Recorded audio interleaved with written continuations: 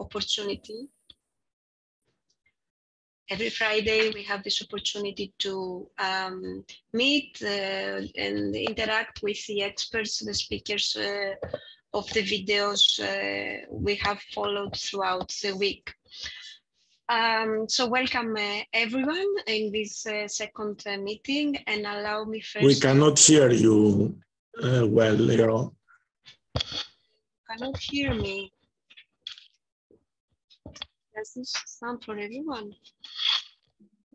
We can hear you.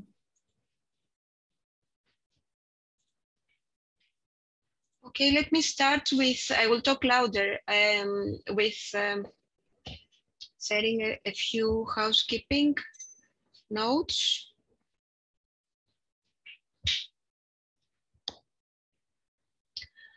Uh, as we did in the previous time.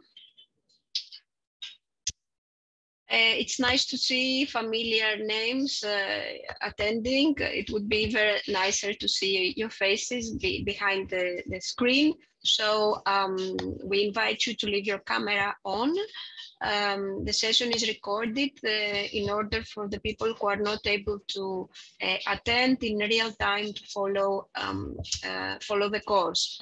Uh, keep your microphone off unless you ask to take the floor and uh, take a, a, look at the chat box uh, because from time to time you can um, ask questions or respond to questions we will be uh, asking.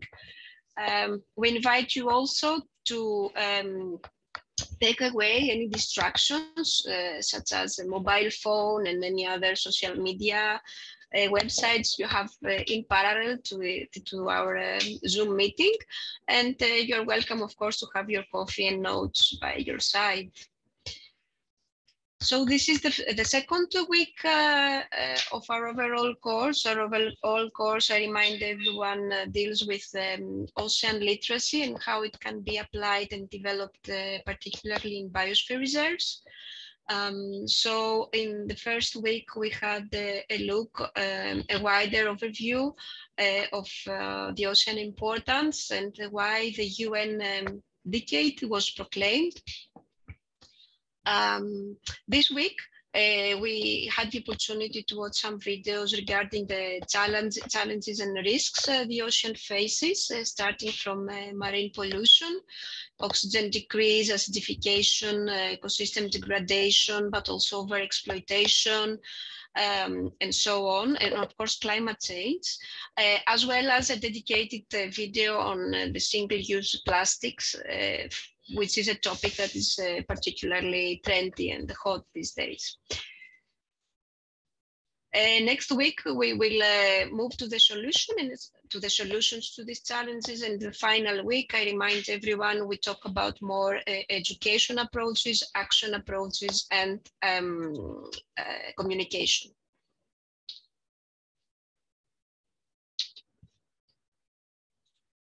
So the course in numbers, um, although we had the, uh, close to 200 applications from uh, 58 countries, um, it seems that uh, uh, between 80 and 90, uh, about half of them uh, have logged in the platform and follow the course content, which is something expected, of course.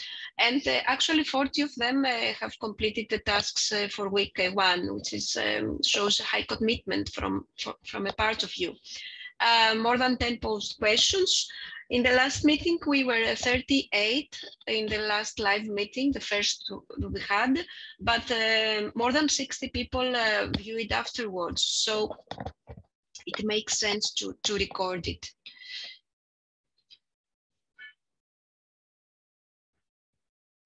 So um, we are 25 now online and um, I would like to ask you, the, the participants that are now here, to note in the chat how much you have progressed in the course content. So just note in the chat the one number from zero to two. Zero if you haven't uh, had the chance to log in yet. One if you are started but uh, it's hard for you to catch up. Or two if you are keep up the pace with um, with uh, course and I see, wow, I, I, I see a lot of tools Oh. And someone's, okay. One, I think one dominates. Okay. Uh, Uh, regarding the evaluation of week one, uh, for those of you that have completed it, uh, some notes that you shared with us. What you like um, so far is the videos um, the way that they are structured, the simplicity of the language, and that the fact that uh, it detaches from the scientific lingo uh, was uh, considered a positive aspect. A good mix of videos with the texts and the re references that uh, we uh, share, uh, so that those of you who wish to can delve deeper into the issues that we um, we see every time. Uh, uh, some of you mentioned that uh, you like the fact that you work at your own pace. So the fact that it is asynchronous is there throughout the week and whenever you have time, you can log in and watch the videos. And we have also good words about the Padlets and the Slidos. Uh, now, things that can be improved. Uh, you ask for longer space for live interaction between you. Um, this is something that uh, we will do um, also in this uh, live Zoom meeting. So we have devoted some space in this live meeting for a group uh, session where you will have the opportunity to discuss uh, uh, with uh, the people that are here in the call um, more specific ideas and action uh, will be generated as we progress in the course. So uh, more ideas will be generated in week uh, three and in week four and concrete examples. Uh, that demonstrate that we're not talking uh, about uh, theory, but ocean literacy is not only a theory, but it's also quite applied, something that can be very much applied. Uh, you ask for references and uh, um, that uh, references should be collected and circulated afterwards. This is something, of course, that we will do.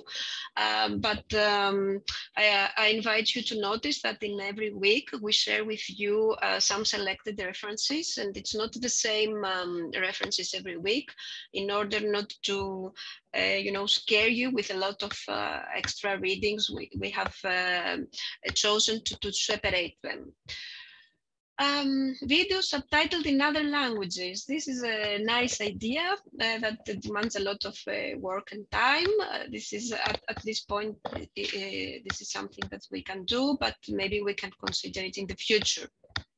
And if some of you uh, that speak other languages want to contribute, send us a message and we will see to how to respond to that. Um, so I, I, mentioned already uh, that in week two, we start from the SDGs and SDG uh, 14 especially. Um, then we delve into risks and threats uh, for the ocean globally. And here we have uh, um, the videos from the IOC colleagues. And I see with us already, um, Ms. Lovat has joined, it's a colleague from IOC. Uh, then we um, zoom in the, the challenges um, in the Mediterranean Sea. So it's a, it's a um, continuation of the lecture of Mr. Dailianis that we uh, saw also in week one. Uh, we follow um, Professor Scoullos on a case study. Uh, he's um, interacting with the local fishermen. They're out in the sea uh, trying to catch fish, but actually they catch a, a, lot more Lagocephalus, which is an interesting invasive uh, uh, species uh, that seems to dominate uh, the southeastern part of the Mediterranean. And we have some extra videos on uh, single-use plastics from um, Jennifer, um, which I think are quite insightful. So after these uh, uh, housekeeping notes, uh, we propose to give some time to uh, the experts. Uh, Professor Scoullos uh, is here with us and Valentina Lovat from IOC UNESCO is here with us. Um, we can have about 30 minutes or if you judge we need more, we will um, see to that and then devote another 30 minutes to this breakout session where we will discuss a, a topic of um, interest and we will uh, again gather in plenary for some uh, conclusions and open discussion. So I think that's it from me. So I stop sharing. Mm -hmm. I think, do you still see my screen? Yes, uh, yes, we still I don't see your screen. Ah, stop share. Okay. So Professor Scoullos and uh, Valentina are here. Uh, Professor Scoullos, you want to yeah. start with some welcome? Yes, first of all, I would like to welcome Valentina, who is with us, and uh, I'm very glad for that. Thank you and, very much. Uh, and uh, and all of you, and all of you, I see many uh, familiar names, not the the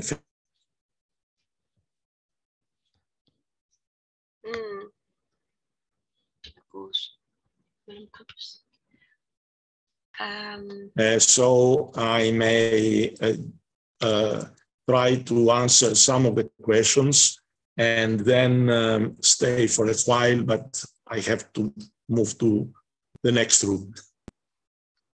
Um, do you want me, so uh, Iro, do you want me to, to read the different questions and uh, try to answer? Yes, we have some problems with your connection. Just uh, be aware of that. You can you can do that. You can fix it, but uh, just talk um, slowly. So even if you are interrupted, we can uh, hear you. I will lost him.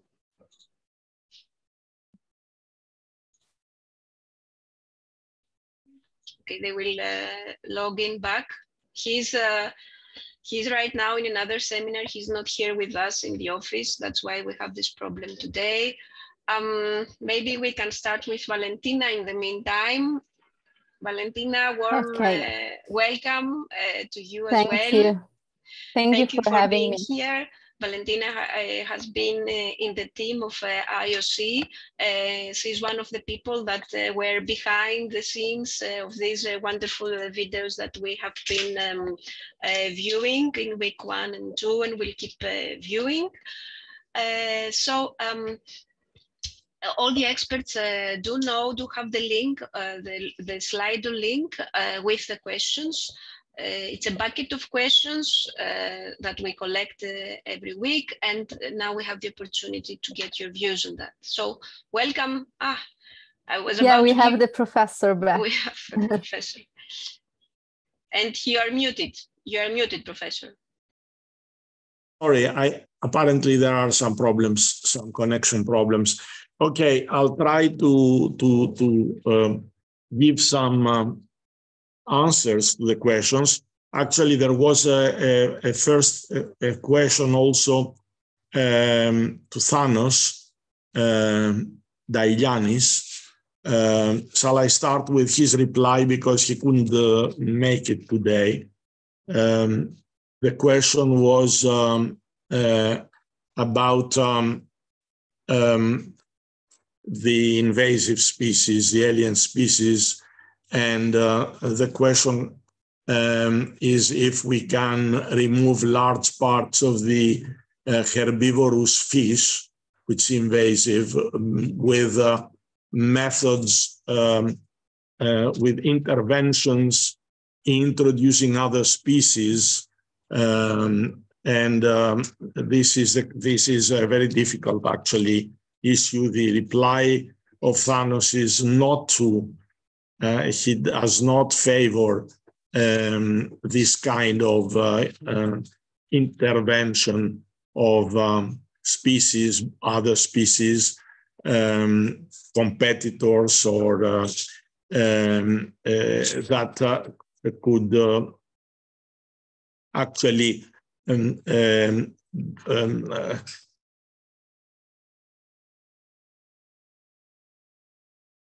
um, Oh, this is really bad. We don't, first of all, we don't, and uh, the pressure um, might be even, uh, you know, greater with the new uh, interventions, particularly uh, with these uh, Siganids the, the rabbit uh, fish. Um, he recommends enhancement of the overall protection measures, which could benefit top level consumers, and in this way, imposing natural control of herbivorous fish. And of course, when we can have active restoration of the vegetation itself, this is something, an intervention that is um, safe or more safe. Um, I think there is also uh, another question of this type somewhere. And uh, uh, also, someone is asking for the mangroves. Um, I'm not an expert on that, and uh, we don't have mangroves in uh, in the Mediterranean. However, the question is if uh, expansion of mangroves plantation affect the marine environment negatively. My um, immediate uh, but not um, learned answer is uh, I don't think that there is a problem. There are problems uh, in other cases when, for example, in deltas or in uh, um, lagoons, we have the expansion of uh, uh, some um, vegetation like reeds and other things.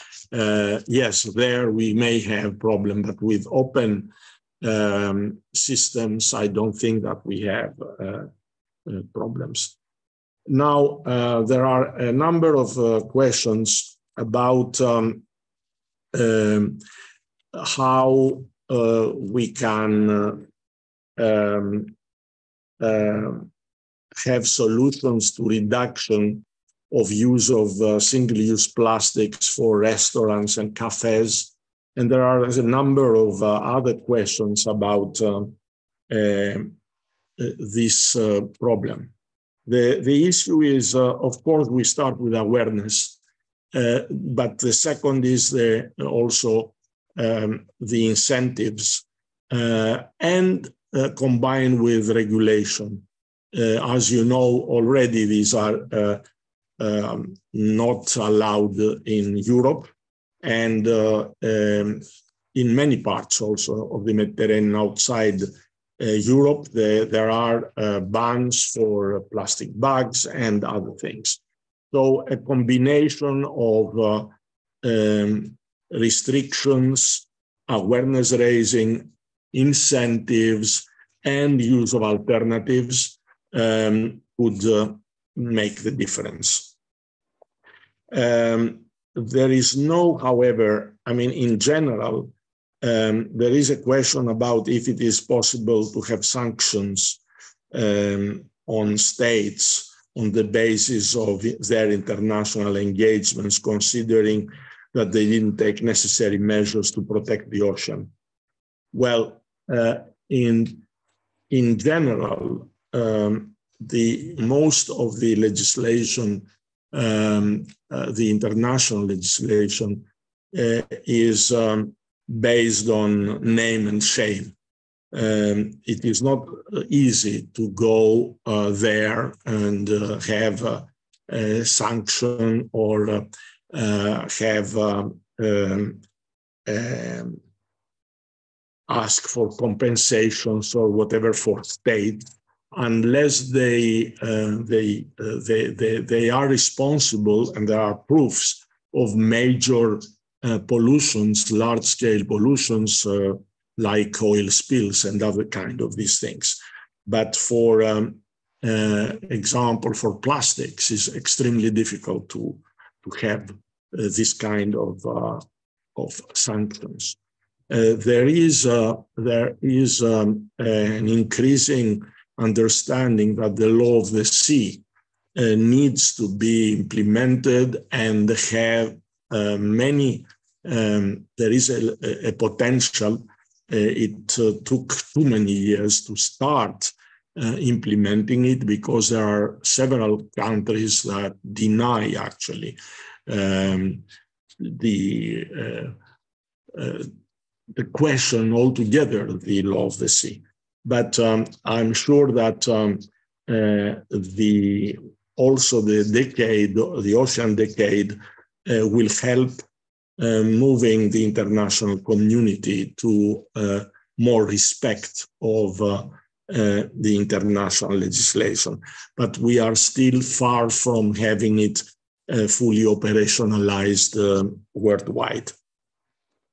Um, there are there is a question about um, microplastics and um, three questions actually um, about carrying heavy metals, uh, about their source for um, for uh, um, uh, washing and washing machines, and also the link uh, with uh, um, with uh, biodegradable plastics. Let me put that a, a, little bit clearer. Um, this is a microplastic is a very big problem because uh, it is uh, almost impossible to re- not almost it is impossible to remove them uh, from the moment they are in the ocean um, the the major problem is not what they carry of course they may some of them may have also heavy metals Mm, uh, but they are not the main, this is not the main problem. Um, the main problem is that uh, because of their size, because uh, they can be mistaken by biota uh, as um, plankton or other uh, minute organisms, they enter the food chain. And even there, we don't have clear uh, proofs on the extent of the damage.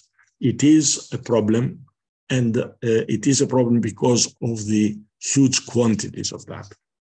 The problem will be more severe in the coming years, despite the uh, the fact that we have removed them from many of the cosmetics or uh, um, detergents and uh, toothpaste or whatever, because, and here we come to the link with the decay of plastics. The plastic decay is actually creating many of these microplastics. The big uh, pieces of plastic age, weather into smaller and smaller and smaller. So if you imagine the amount of plastics we have in the ocean, little by little, these are going to decay, but in, in what way? In fragment, through fragmentation. They create smaller and smaller things. Now, on the biodegradable, the biodegradable were, were designed to decay under ultraviolet uh, light and uh, humidity, uh, and conditions, a lot of oxygen we have on terrestrial systems. This is not the case in the sea. So in the sea, we have a very slow decay, and uh, therefore, even the period of their life as in, in the forms we know or similar uh, will be longer.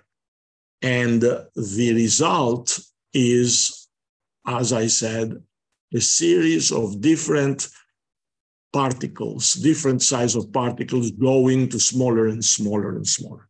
So this is the problem. Yes, indeed, we can design also better uh, washing machines with more efficient filters uh, to minimize, not get rid 100%, because otherwise uh, you need uh, very dense, very uh, filters that uh, will increase a lot the energy consumption. So there are many issues that are interlinked, and we need to, to take them in a holistic, in, in integrated way together. Um, uh, what uh, the uh, there are questions about uh, noise. Uh, I don't know if Valentina may deal with that. Um, uh, also, there are um, there are few um, two questions about uh, ocean health index. perhaps also this can be dealt by Valentina. Um, and um, I don't know if there are uh, any uh, other, um, well, on uh, how does ocean literacy address can be applied when the root causes of pollution cannot be dealt with through local action, the pollution uh, traveling currents. Well, this is a huge problem. Um, still, uh, we have to see the um, ocean literacy as uh, a very uh, powerful tool that um, acts from local to global and vice versa. Not, it is not something that will solve local, always local um, uh, problems we have to see that uh, there is a, a dynamic through uh, ocean literacy, a dynamic relationship. Um, so indeed, if uh, we manage to um, spread the message uh, all over the world, we expect that the important thing is the input into, I mean, the uh, land-based source, how we reduce this and um, there is a question here about the big rivers. Theoretically, we can have, particularly, we see this in smaller rivers, we can have systems of um, movable, removable, and movable dams in inverted commas in the del deltaic areas. And we have these kind of things in smaller systems where you can actually capture, collect, stop big uh, um, inputs of uh, particularly voluminous uh, plastics. Um, there are many proposals for these systems, but if you get into the very big uh, rivers, the uh, plastic comes um, together with a lot of um, uh, um, earth with sediment that comes from upstream together. So it's extremely difficult to manage to stop and collect this material. You can do that for the one that is in the surface, and uh, it is enough. I mean, this is uh, uh, already a way but uh, it is a costly um, business with many technical uh, problems. And uh, also, it is uh, seasoned, I mean, depends on the seasons. So uh, it is not an easy way to get rid of that by capturing in traps uh, what it comes into the sea.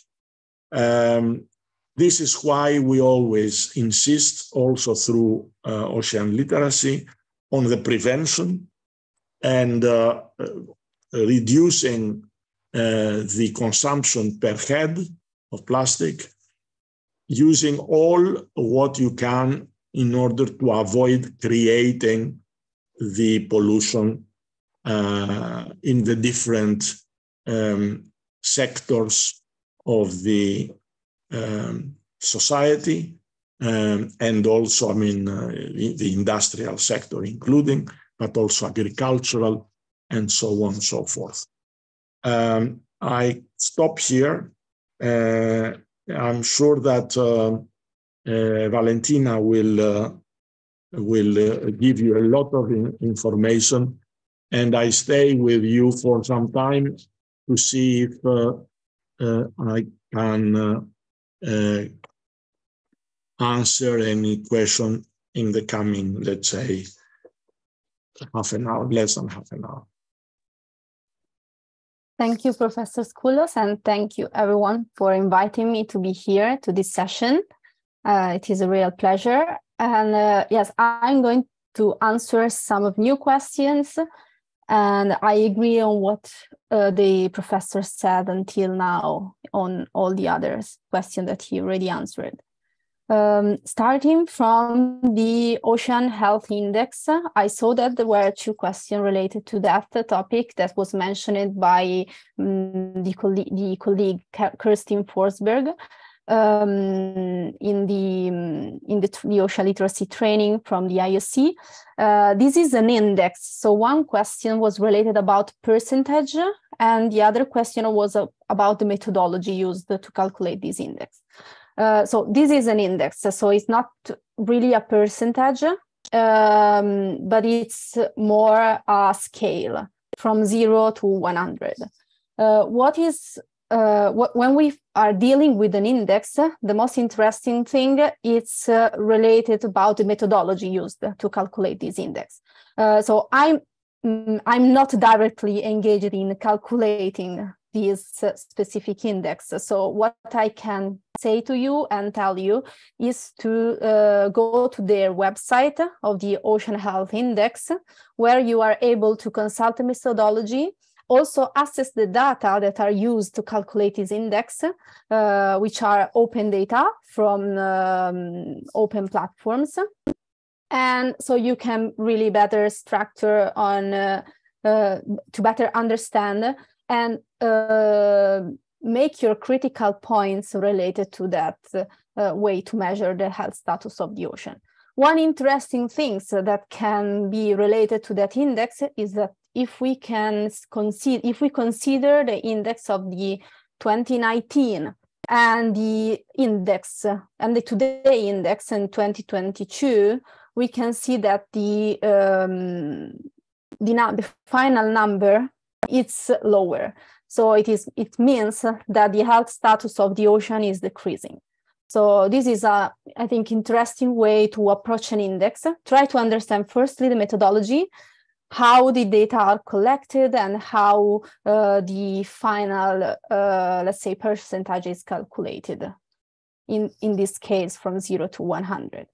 And when we, so every time we see an index, we need every time to be critical on that on that point and try to look at the index, um, un understanding better the data. And if the index is calculated since uh, a past period, we can go on through all the different series of data from, in this case, I think is 2012 to 2022. So we can see how it changed during the years. Uh, I saw that Hiro sharing in the chat all the links related to that index. And then the second uh, point was about noise pollution. And uh, the question was related uh, to the how noise pollution can affect the health of aquatic species and then uh, affect directly human health. So it's sure noise pollution is affecting the um, health status of the biota, of the biodiversity living in the ocean and living in the Mediterranean Sea as well, because the Mediterranean Sea is one of the um, basins where the noise pollution is really high, because we have we the, in the Mediterranean Sea we have one of the main, the most important trade um, route from all over the world, and the uh, Mediterranean Sea is also a semi-enclosed basin. Uh, so the noise pollution is affecting biodiversity in different ways. Um, first of all, the communication of the biodiversity. If we consider the Mediterranean Sea, we have one of the areas uh, which is uh, um, which is known for the huge amount of cetaceans and marine mammals living there, for example, the Pelagos Sanctuary. And at the same time is also one of the part of the Mediterranean where there is a, a, a huge amount of traffic, of naval traffic and trade traffic um, passing by. Uh, in that case, noise pollution uh, can create confusion in the communication of these uh, uh, species cetaceans, for example, but and this cause, for example, the um, uh, disorientation. So uh, the uh, lack of ability of finding the main route of these cetaceans. so one times happened, for example, that a whale uh, came out, let's say, from the main area because it wasn't able to locate itself into the greater environment. And this can have long-term uh, effects in the health of the population status of the cetaceans in the Mediterranean Sea. Uh, other conditions, if we consider noise pollution, is that the ocean is becoming loud, let's say. Uh, as we live in our big cities and in metropolis where our um, our he hearing system is always uh, subjected to a lot of uh, uh, screaming, a lot of rumors. The same happens under the water. So to communicate, the organism need to scream more, be more loud. So this is increasing the stress level, the anxiety of the biodiversity living in the marine environment how noise pollution can affect uh, um, also the um, human health. Uh, let's say noise pollution underwater. We are not living directly underwater. We are able to stay underwater for a few, uh, really little time. Uh, so it's not directly affecting us, but our daily life above the sea surface, like say in the in our cities, is always subjected to noise pollution, and noise pollution is affecting our stress level and our uh, also hearing abilities. So yes, it's affect in some ways affecting also human health. Uh, these are the two questions.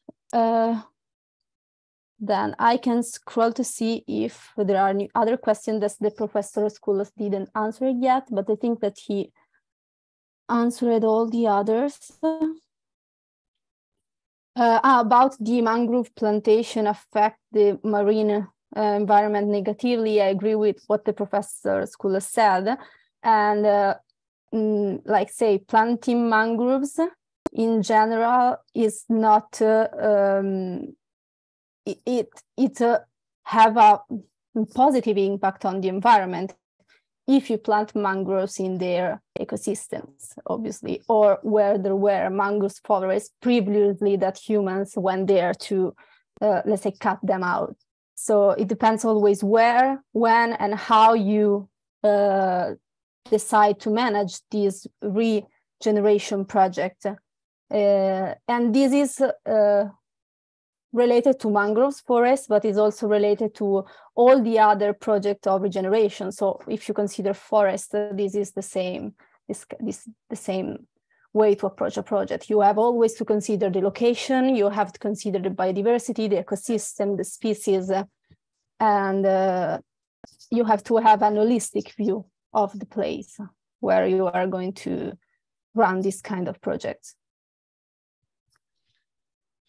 I, I, I see that there are two more questions that I may try to answer, and perhaps uh, you may complement uh, uh, Valentina. There are two more general questions. The one is population growth and coastal urban growth, two core drivers behind ocean depletion. Indeed, but um, the population growth um, population growth um, is uh, is higher in uh, uh, in developing countries. Um, the there is a, a, a proven connection between um, quality of life and population growth. Um, it is a matter also of education. So um, it, in in many ways uh, this uh, cannot be um, with ethical means um, addressed uh, differently than with family planning and uh, uh, also um, education.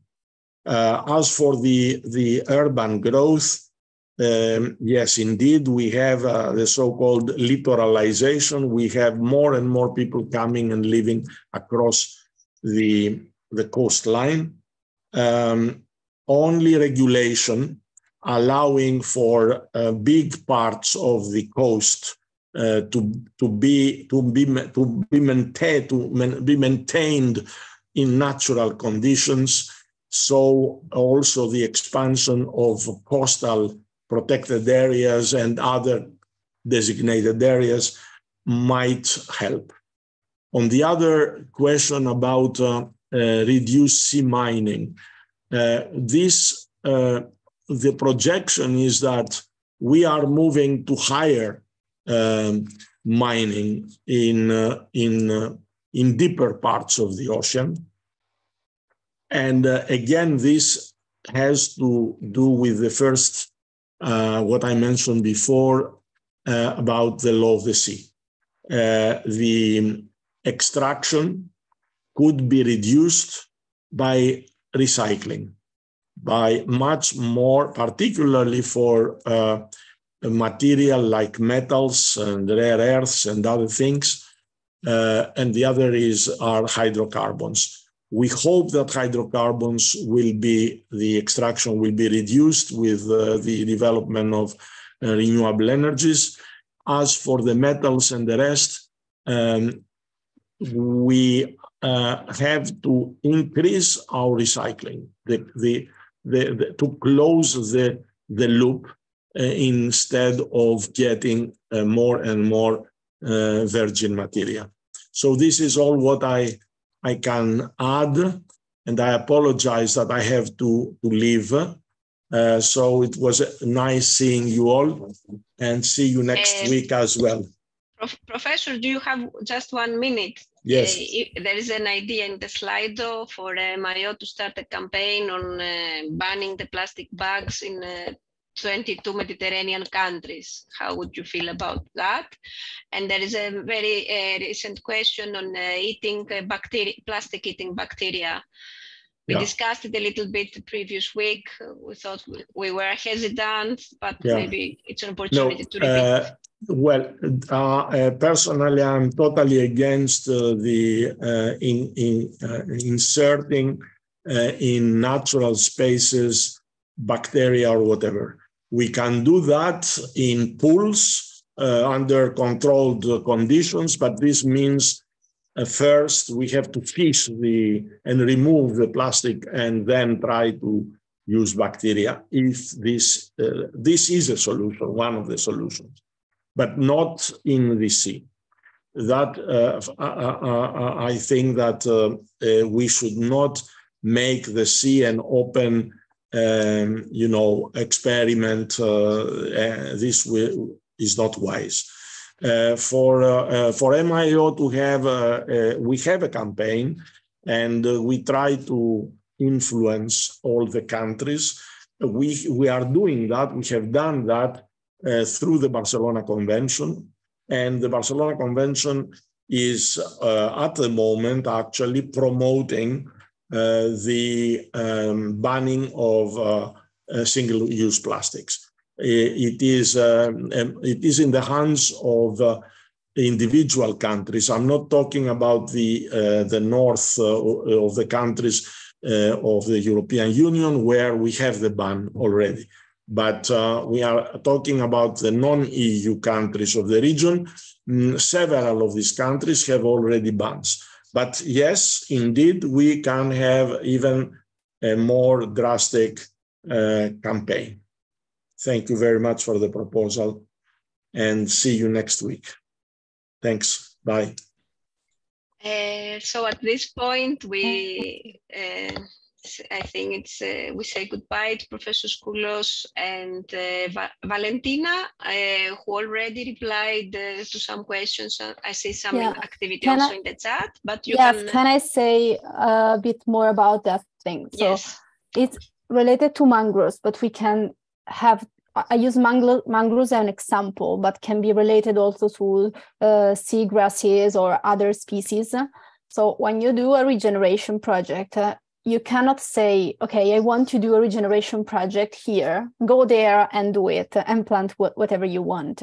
You have always to consider which are the environmental conditions, which are the uh, uh, autochthonous species living in this uh, environment, or the reason why there are i don't know i'm talking about for example bangladesh uh, or indonesia or philippines where that are countries that usually have mangrove forests in front of coral reefs. So firstly you have to ask yourself why we haven't uh, mangroves anymore in that location. There is a reason behind that then when you find the problem and the reason that can be pollution can be uh, aquaculture facilities can be um, i don't know uh, an, a new harbor uh, can be a new touristic resort or other uh, motivations you can uh, ask when, when you understood the problem then you can develop a solution and when, when you are developing a, a, solution, also in this case, you have to consider all the environmental conditions that there were in the past, so previously that the problems appears, and what you want to achieve in the future. So mangroves forests, we say mangroves. Mangroves are a lot of species. So considering uh, your location and uh, the environment ecosystem that you decided to um, uh, to regenerate, you have to decide the best species that fits for the, this environment. And also, are mangrove forests usually made uh, up only from one species, or do I need to consider to plant different species to increase the diversity of the ecosystem? So it's complex, let's say. And uh, this is what I want to, to tell you. Planting mangroves usually has a positive impact, but if you plant mangroves in the Mediterranean, probably the impact will be negative because they are species that are not from this area. So, and that's why we need to have holistic approaches because there was a comment in the chat yes. what do we mean holistic so so mean it means that we need to to study in depth the ecosystems, as you say, in depth in space and in, in time. So what was there, uh, what fits there, um, and, and manage it in this uh, in this way. Yeah. Uh, I don't know if uh, you want to reply to, or you if you have any impressions on the topics uh, raised in the Slido, Valentina. Um, I think that we answered everything. Yes and so, we share the resources. Yes. Uh, if people happen to have any more specific questions, you are welcome to write it in the chat or in the slide of week two or of week three. And next week we will come back to them. Uh, I'm sorry to say to everyone that we won't have uh, Valentina uh, throughout the meeting, so she won't be with us in the breakout yeah, session. But uh, thank you for uh, your time for being uh, for being here and for being uh, supportive. thank Please. you for you. It's always a pleasure. I'm sorry i missed after the time zones and i have another meeting. No so problem. sorry. No problem. Thank you very um, much okay uh, so we say goodbye to valentina and we have uh, maybe bye bye 15 minutes to, to discuss a, a topic. Um, so uh, um, let me just uh, share, share with you again our intended question. So can you see my screen? So uh, I propose to break in, uh, we're 28 now, uh, I propose to break in four groups Let's see. Uh, in groups of four or five people so that everyone has the opportunity to speak. So this week in the course, we discussed about threats, challenges, climate change, acidification, eutrophication, uh, all these uh, doom and gloom uh, risks that the ocean faces. And um, we know that um, talking to, to people in, in, in this way uh, makes them uh, over, feel overwhelming or disempowered. They feel that the problem is too big for them to solve it. So I propose in our groups to discuss uh, uh, uh our views and our um, opinions about uh, how we can raise awareness and make people alarmed on the severity of the situation and the risks of the ocean and the urgency of taking action, but do that in a hopeful way without, without making them feel uh, overwhelmed or disempowered. So I hope this is a, a nice topic to, to exchange. And uh, when we are in our group, groups, uh, we will stay for 15 minutes.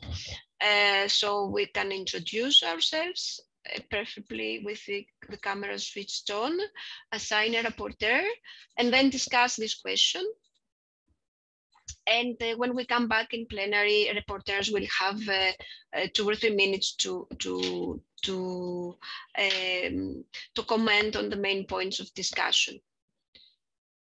I hope this is clear. I will copy also the the question in the, in the chat. Let me just stop sharing so that you have the question also in the chat. And uh, with the help of uh, Vicky, we will uh, uh, split, uh, we will split in our groups.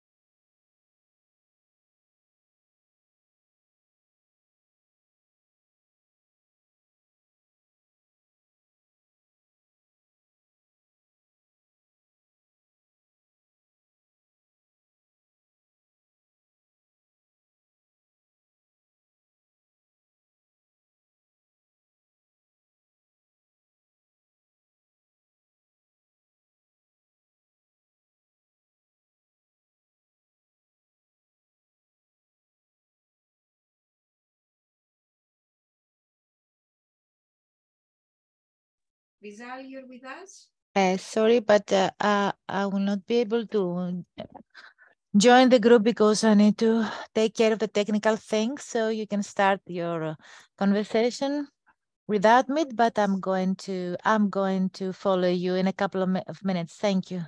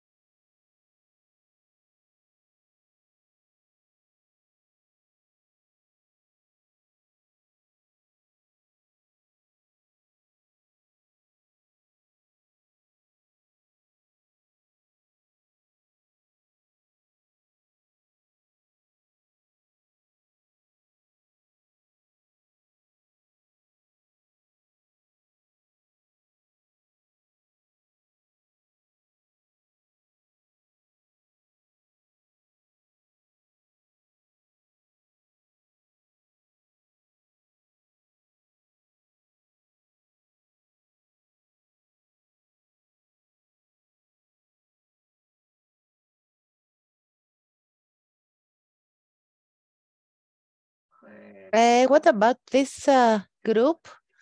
It's too silent. Haven't you heard yet your conversation, your discussion? Or uh, I see Marie-Therese, Alexandra, Solji, Ariana, Kedibon, Johnson. Come on, you people. Don't be shy. Hello, dear. It's Marie-Therese. Hi, How are? Marie-Therese. I'm fine. I'm fine. Would you like to to share with the rest and spark a little bit any idea about we, how we can discuss on uh, ocean risk, but without, uh, you know, making people feel so condemned or uh, frighten them. Mm, Can I talk? Yes, please, the floor is yours, and then uh, I'm going to be silent and uh, let you discuss, okay? And also you need to choose uh, to appoint one uh, rapporteur for the plenary. Please, Marie-Thérèse, you have the floor. Thank you. I think uh, the most important to go through uh, schools and universities. It's very important to make a session in schools for youth to make to raise awareness about uh, the risk of uh, of uh, climate change, of uh, the, of this disaster, of of our problems, you know. And uh, it's it is very important to go through uh, the education system also. For example, uh, in my country, in, in my city also, Byblos, we have a committee specialized for disaster. They make aware all people when we have a problem.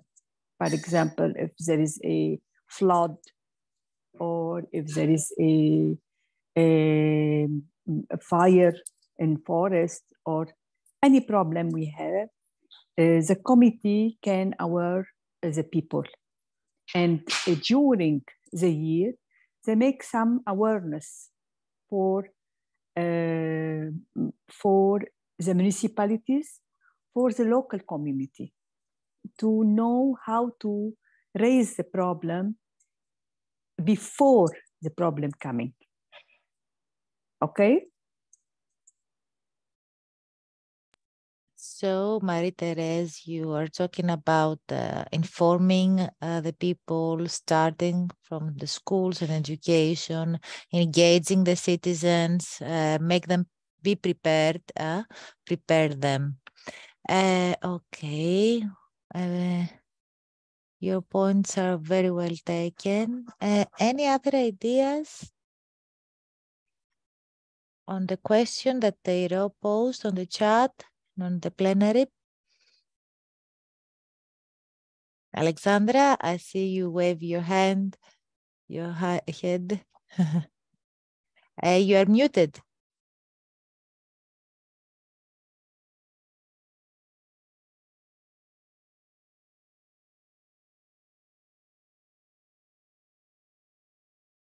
We cannot hear you, Alexandra, if, if you if you're talking. No, you, you're not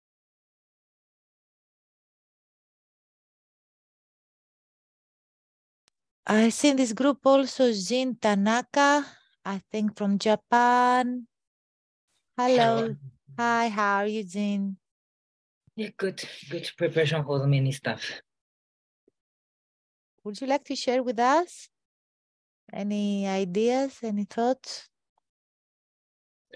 So, okay, hold a second. So I like to share the, some ideas for the, especially for the focus on the ocean literacy. Just until yesterday, the UNESCO, yes, yeah, UNESCO uh, IWRA, I mean, the emerging pollut uh, pollutants for the protecting water quality for the health and people, just mention about the they need to the concerning about the protection of the not only to the water but also the oceans, especially for the conserve to the any of the biodiversities. And that time, I guess that we need to the focus on to the more more focus on to the some biospheres and biodiversity. Likewise to the some of the areas like like uh, in the Asia Pacific countries has uh, more than that uh, maybe it's uh, good sometimes to scare a little bit the people. I lost you. I cannot hear you. Yeah. Uh, Uh, agree with you. sorry, What about Celine? What did you think? I cannot hear you. can you can you Now, now it's better. Yes.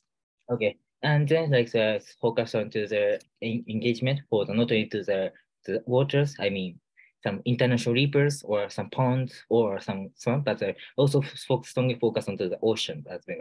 Likewise, just two months later, the, the UN agency going to host the UN Water Conference in the US. And so we mentioned about how they can manage for the, water, the quality of the waters. And that time we also, the, I like to also focus on to the, to the strongly mention about the biodiversity in oceans because many of the water resources is connecting to the oceans mm-hmm. and nutrients and the industries and also any other stuff is strongly connected to the biodiversity as well. So I like to propose the, these kind of ideas and so based on the knowledge I experienced in this course uh, to bring to the the UN agencies to strongly more focus on to the protection of the, the waters and setting up to the, to the uh, marine protected areas in each country if I could. So that's my idea. Thank you so much. Thank you.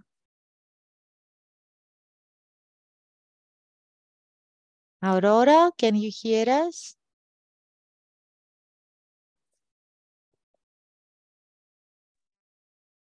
Hello, yes. Uh, sorry for the late. Uh, it is impossible to connect with the video, so I can hear you and I can represent myself. Mhm. I'm Aurora Pirovic Zulay. I represent the WellPoint Association in Albania. Mhm. I am a biologist and uh, I worked uh, also for uh, marine protected areas, especially for marine litter uh, uh, issues in, uh, in Albania. I was part of uh, Mediterranean Act for Litter project. Mhm. And so I just entered to know what uh, the topic is uh, you are talking about and how uh, I can contribute or I can profit from this um, um, discussion. Yes, actually, we are sharing some ideas on how we can uh, transmit uh, the ocean themes and discuss about the ocean uh, risks without overwhelming people. But it's okay if you don't, Okay. If I you have something, anything to share with us right now. Uh, if I can add to this uh, discussion and the thoughts of uh, Celine, Or uh, anybody else from this group or Aurora, since you are talking now. Mhm. Not Um, my target groups are the youth. So sometimes in many projects, uh, I am part of uh, environmental education with the youth, especially that lives in protected marine protected areas. And so, for example, with a power Association, we uh, collaborate just to raise the awareness uh, about the mammals, uh, uh, mammals uh, of the oceans, and and also how to reduce the plastic pollution or or to or uh, we were part of capacity building for uh, marine protected area area adminis- administration agency uh, just to take measure how to take measures just to reduce the plastic pollution in marine protected areas Great. Marie-Therese, can you, that we you have the floor. maybe discuss with You will share also with the plenary our uh, small ideas. Huh? I'm sure you will. Please. Yes. Um, if we can start, for example, to make a strategy and guidance for key leaders on risk taking in the problem. Any problem you may have it, uh, or any problem, or or any um any risk we have it. Uh, we can make an ethical decision making. If we have this problem, how to deal with. We can make a wide acceptance of the importance of risk management. Why you need to make a risk, risk management? It's very important. We can make information uh, across all problems problems of seas, problems of land, problem of air, any problems we can um, get it. And we can learn from the impact of risk. And we can learn from others how to deal with the problems. We can go uh, through uh, the country more um, more uh, informed in this problem and, and we can learn from them. We can be more active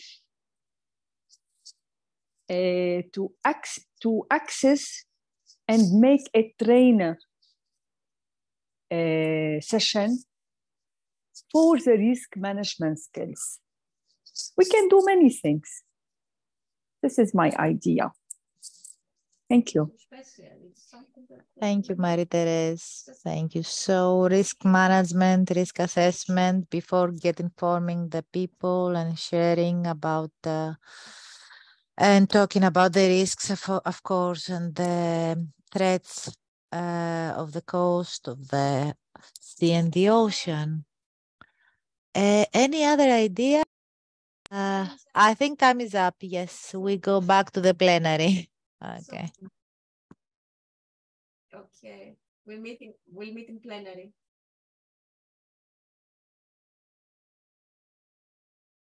We still have a few seconds, but uh, Uh, can I tell I something? Yes, yes, please. Well, I'm uh, sorry at the beginning I had some uh, technical problems because I'm using a mobile phone instead of a. Ah, that's uh, yeah. Uh-huh, So, uh, what I'd like to share with you, because I work as a ranger, I'm a head ranger in Lastovo Islands Marine Protected Area in Croatia. And uh, I have once a week, I have a guided tour around the, our islands in our, our archipelago. And what I see as very strange is that people who are our visitors, who are um, kind of different people because they have to travel a lot of hours to come to our islands, I see they're not very interested in hearing about the problems. It looks like they feel it as a big burden. They don't want to know. Um, usually during that um, excursion, which is like uh, that guided tour, which is like two, three hours, um, I take out my samples of the plastic uh, w- um, problem, etc. And then I show them these plastic samples and talk about it. But I see they don't like to hear about it. So when I was thinking about ocean literacy and giving that knowledge to people, um, I don't know what approach to take because people are obviously very burdened. And when they're on their holidays, they don't want to hear about it. But, and I think that visitors are my target group. So, yeah, thank you.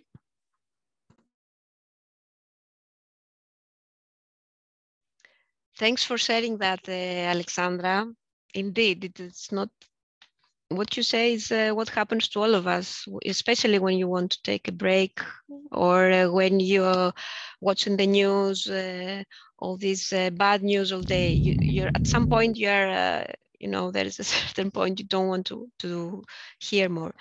Um, I think everyone is back. Maybe we can hear from some uh, group reporters.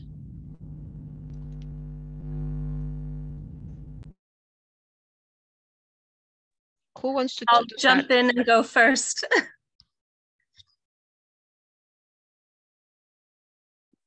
okay, so hi, my name is Celine. Uh, we were group one, and it was myself, Iro, uh, Yu- Yumoke, uh, Albert, and we briefly had uh, Vissal, but uh, he just said here was he was taken to another group chat. It was a very diverse group. We were, were from Nigeria, Greece, South Africa, and Spain. And uh, the issues that we discussed, for example, in Nigeria, uh, a, a large issue is flooding and deforestation. And the uh, solutions to that that were proposed was GIS mapping areas to study them and to essentially build up early warning systems and also to create awareness so that um, people can prepare and uh, in terms of um, the, sorry, uh, okay, so in terms of the question that we had, uh, another way of um, approaching people and not overwhelming them and uh, sharing about the issues of the ocean uh, was, for example, to use uh, citizen science, where they can explore the ocean and become curious, learn about it, and also have a firsthand experience uh, so that they can see the problems, solutions, the beauty where there's lack of beauty.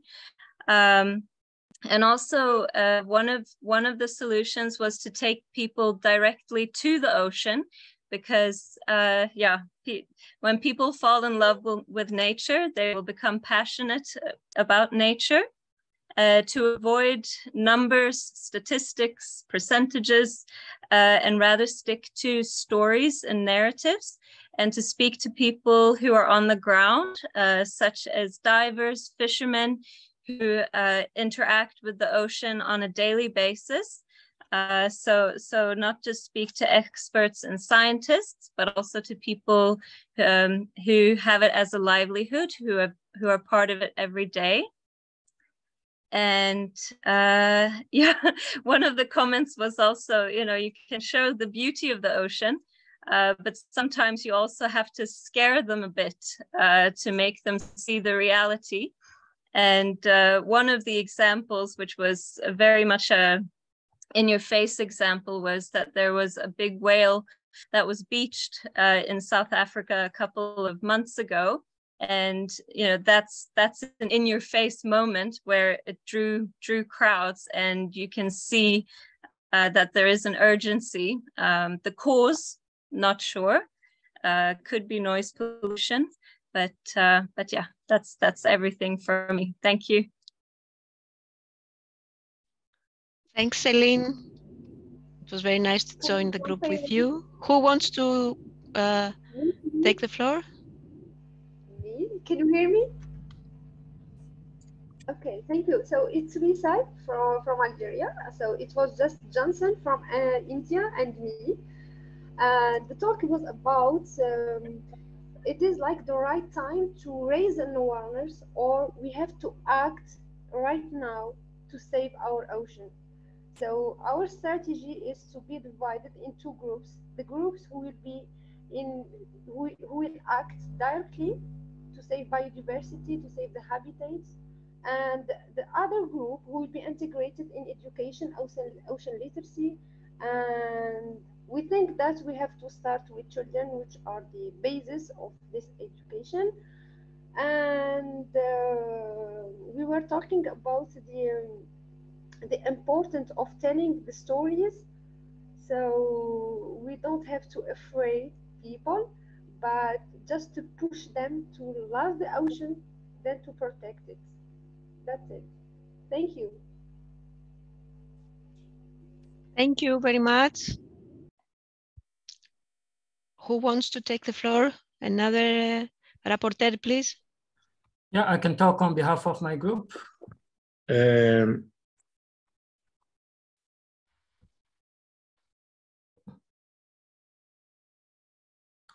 Yes, um, I don't know, Professor Scoullos, if you want to.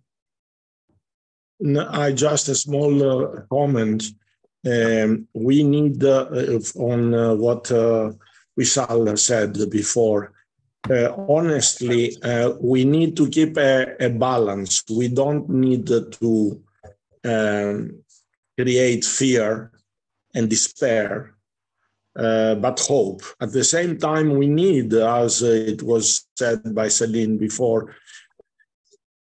to put everybody uh, against uh, his, her responsibilities. We all have responsibilities.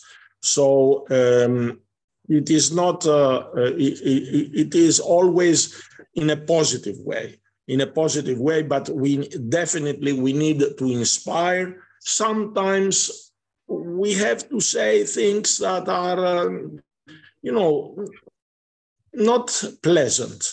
We see that many of the things around us go to the wrong direction. And we have to say that, even if some are scared, but it's not for scaring, it is just in order to help inspire them.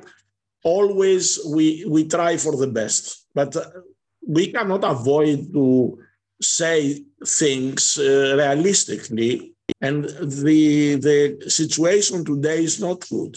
It's not good.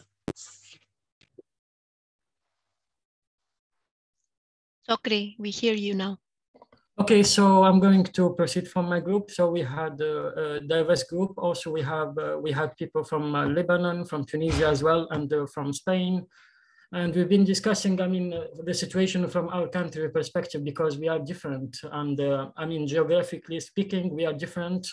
So uh, for us, for example, for Tunisia and Spain, Egypt, we have different uh, I mean, the problem is about mindset, is about awareness problem. So we need like to tackle awareness and we need to find like uh, some some solution to act locally also. So I mean, something that have been raised by my colleague from Lebanon as well in how we can act locally instead of globally at the national level. So we need like small small initiative at the local level to make people aware of ocean literacy. And uh, uh, also something um, uh, important that has, has been raised is about education, which is very important because we need to start from a very early stage, how to make people aware of ocean literacy. For I mean, tackling, uh, I mean, ocean literacy at the primary school is very important. And uh, we need really, I mean, to interact with direct stakeholders uh, that has been mentioned already with the first group. So we need to talk directly with fishermen, with people who are in the field and uh, to find, I mean, a solution and alternative uh, to, um, we had not a lot of time to discuss all of this because we spent all of the time introducing each other, but, uh, but then we had like uh, three minutes at the end to talk about uh, what could be done. And uh, this is, I mean, globally what has been said in our group. Thank you. Thank you, Chokri, and thank you for uh, following uh, the entire uh, course uh, since the beginning. So uh, your contributions are very, very much welcome. Uh, we have one more. Yes, if I may, actually Marie-Therese was a reporter in our group, but I see that she has already written something in the chat. The whole proceedings of the of the of our small discussion. Marie-Therese, would you like to to give us the key two or three points? Mm, yes, it's a long point because we have already, I was a focal point on GNDR in Lebanon, and we learn a lot uh, for, from the risk uh, management. Uh, first, we need to build a risk aware, awareness uh, culture. We need to educate about risk management we need to clarify communication, what we expect if we had a disaster. Uh, we get to top level buy-in. We need to assign responsibility for management specific risks. We need to establish incentives for the problems. We need a leverage technology to measure improvement and increase transparency the risk awareness is just the first part of our overall risk management strategy. We need to build a risk management strategy, how to um, uh, how to um, be how to be uh, in front of the problem when we had the ocean problem disaster but there is no way to respond quickly to a threat that you don't know is coming. So improving your risk identification and understanding is critical to effective emergency response management risk.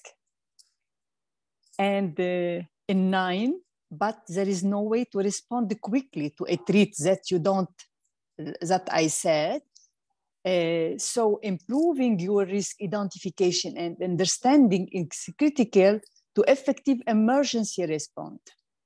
And finally, consist guidance from key leaders on risk taking commitment to, eth- to ethical decision making, wide acceptance of the importance of risk management, transparent risk transform, transformation uh, flow across all, all, all department, all problems, ocean, forest, like I said, land, encourage, encouragement of reporting risk issue to regulator, learning from impact risk, incentive for risk taking, active and accessible training for risk management skills, a well resources risk management function for all the people on the ground, for the local community, for everyone. It's mean if we uh, conclude, we need to make a risk management plan and the strategy for the problem, for the disaster. We can face it in ocean or inland. Thank you. Thanks, um, uh, Marie-Therese, uh, Professor Scoullos. If you have any response to that, my immediate reflection is that, that indeed, uh, as societies, uh, we need to be better trained in risk management because we are going to have a lot of more um, risky uh, phenomena around us. Risk management is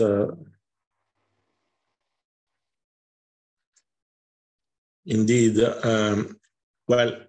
Uh, risk management is um, is very important, of course, uh, because uh, the our our uh, particularly the last generations have increased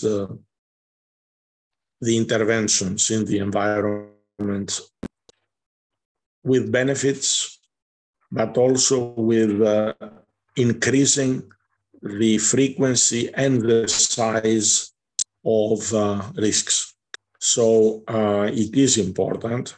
It is not uh, necessarily uh, or mainly about ocean, but uh, Marie-Therese mentioned that is also everything is connected. So terrestrial systems are important as well. So um, I think that um, this um, the risk part um, is something that um, uh, is part of the ocean literacy, but uh, uh, not as risk management. It is uh, mostly in understanding the challenges of uh, of risks in the sea.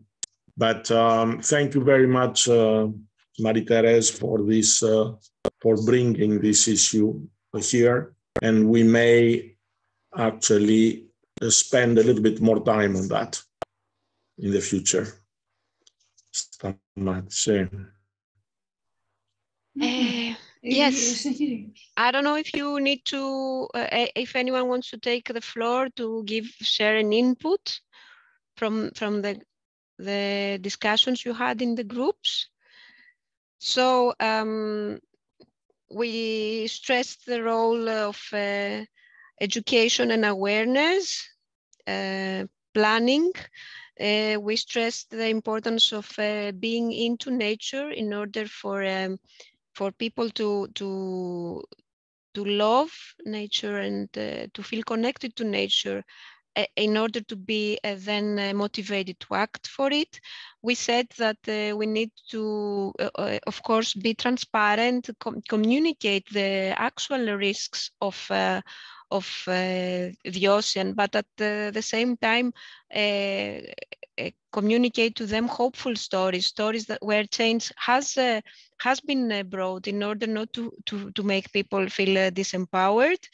Uh, we talked about the value of uh, bringing uh, kids and starting early, as early as primary school or even before. and through citizen science projects, keeping this um, this connection to, to nature and to the sea um, always close.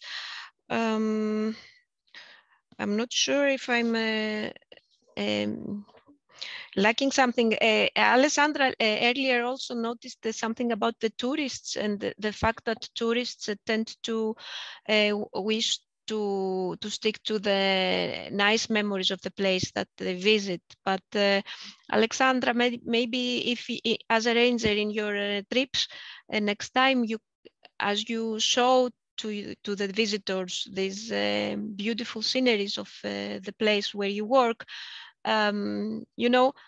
Uh, make them alarmed, but not over, overwhelm them with with a problem that that uh, your region is is facing this is an idea uh, how to to to cope with this challenge that you have that visitors don't want to hear actually the the, the bad uh, the bad news uh, if anyone else wants to take the floor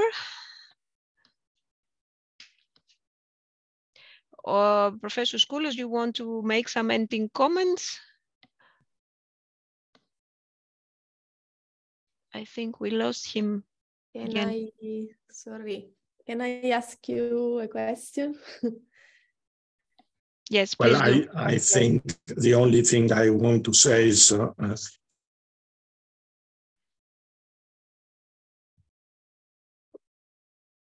sorry, We have also can you Marti- hear me? Uh, we hear you with interruptions and we have al- we hear you with interruptions and we have also Martina who wanted to take the floor. Yeah. Can I speak? okay. Uh, I'm sorry, but today I have a really bad uh, internet connection, so I lost uh, some parts and then I will have a look on the recorded uh, version.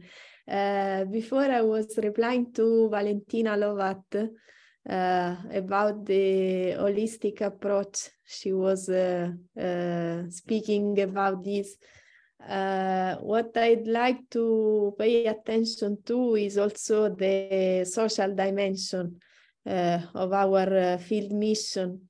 Uh, for example, uh, in the last few experiences, uh, I experimented Uh, some uh, relevant issues uh, related to illegal aspects and some bad, I would say, organization in this uh, context, uh, despite the formal recognition of the biosphere reserves.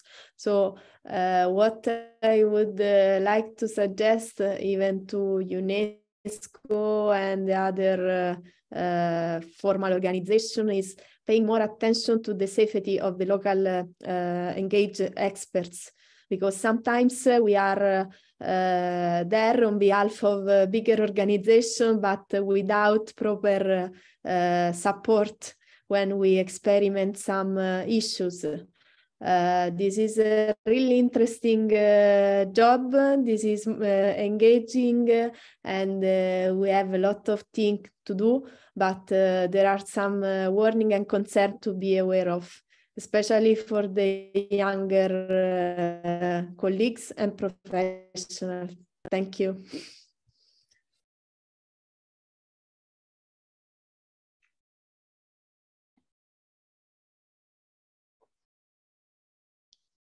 Professor Scoullos, you, you want to, we can hear you now.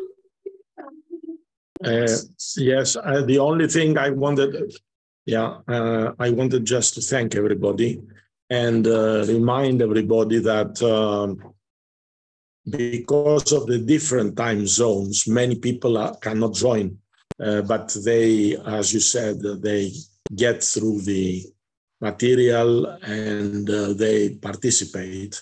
Uh, so I think that um, um, from the from the reactions of the people and uh, the things they bring uh, to the table, uh, it is uh, clear that um, the the ocean literacy issue is very everybody, and um, we what we need to to stress are some of the some of them, like the depletion of uh, fisheries, in, in one or another way, can be addressed. And we have uh, promising things there. Acidification is not the same. When you, you get uh, the, the sea acidic, you cannot change it. We need uh, and understand that, for example, acidification and increase of temperature and what is linked with the ocean, with the climate change is a very, very serious problem because uh, the ocean itself cannot play its natural role in uh, uh, actually buffering uh, the system. We, uh, from the moment is acidic. So uh, we raise issues that are of extreme importance, and some of these issues require immediate political response. And one of the messages I want to say through all what we are doing is that uh, is power to react towards decision makers. We need at this moment, really, when we are talking about the COPs on climate change, we need to insist as citizens on a number of issues that we cannot afford to wait because we, there is no way that we are already in irreversible changes. And this is very important if this is scaring, it is what it is. We have to say it. We cannot go back. It's not a matter of it's not a matter of diplomacy here. So this is something that we we need to keep in mind. That is all what I wanted to say. Thank you very much for your insightful uh, reflection on all the discussion. Uh, we are very, very late, but I give the floor just for one minute to Isabella, who has raised her hands, and then we close the meeting.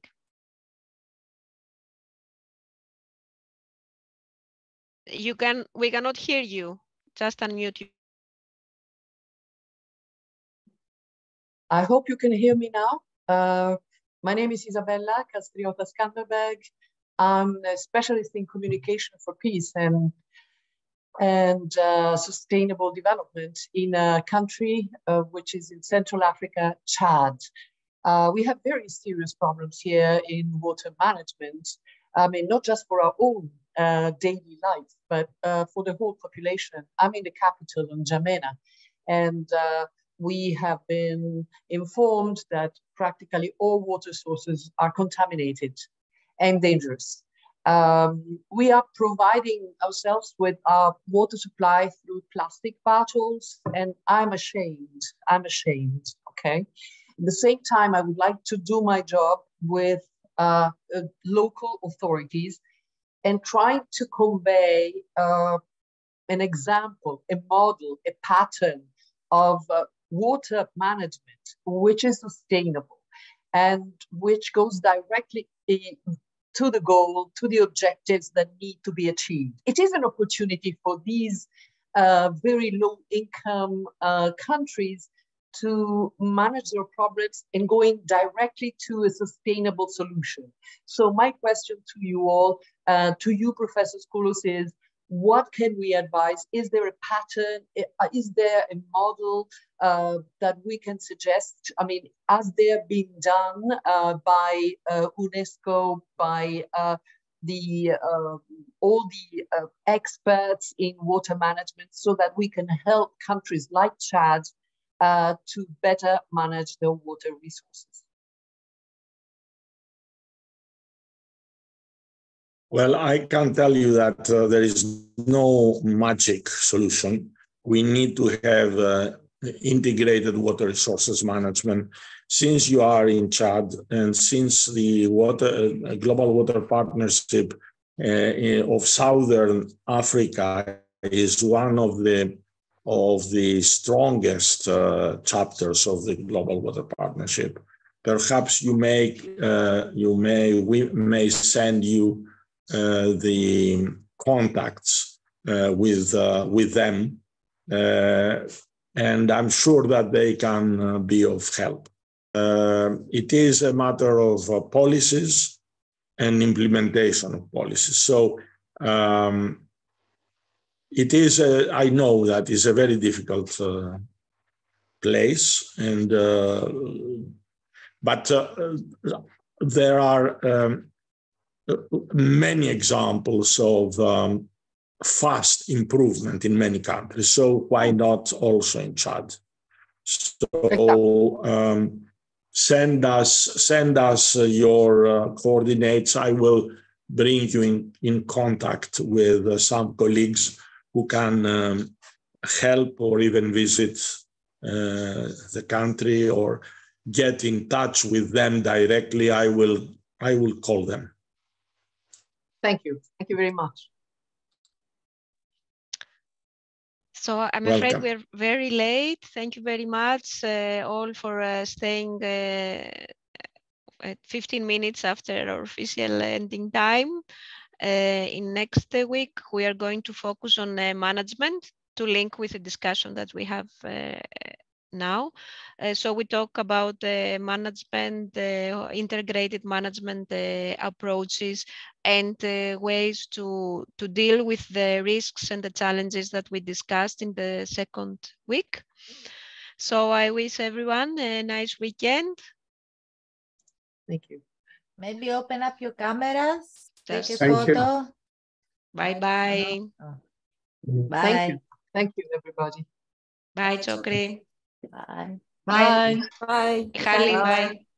Thank you. Bye all. Goodbye. Bye. Bye. Ito na sto σήμερα.